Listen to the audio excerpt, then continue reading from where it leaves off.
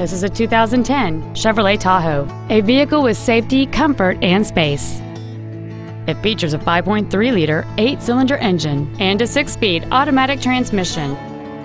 Its top features and packages include a power driver's seat, heater vents for rear seat passengers, cruise control, a DVD player, a leather-wrapped steering wheel, a trailer hitch receiver, aluminum wheels, a low tire pressure indicator, a speed-sensitive volume control system, and an anti-theft protection system.